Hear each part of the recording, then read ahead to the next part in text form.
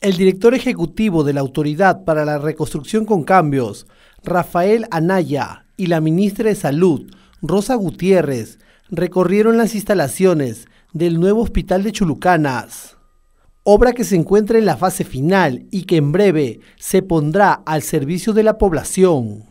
Tras inspeccionar las instalaciones, ambas autoridades coincidieron en la necesidad de adelantar la entrega del nosocomio a fin de sumar esfuerzos para combatir el dengue que duramente afecta esta región.